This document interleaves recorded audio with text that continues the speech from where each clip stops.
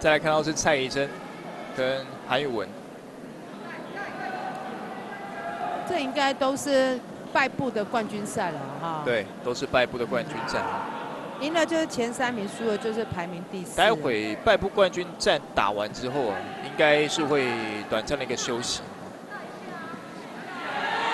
哎呦，哇，关有了节关哦节拍了。今天的第一场，嗯第一场这个场地的第一个蔡关节宜真嗯，蔡一真终于给他抓到机会了。在要向上挑战了哈，这个拿到复活的这个权利，要来挑战第一、第二名。然后摔的不是很好，哇，这个给他抓到机会得一胜，整个嗨起来，恭喜蔡一真。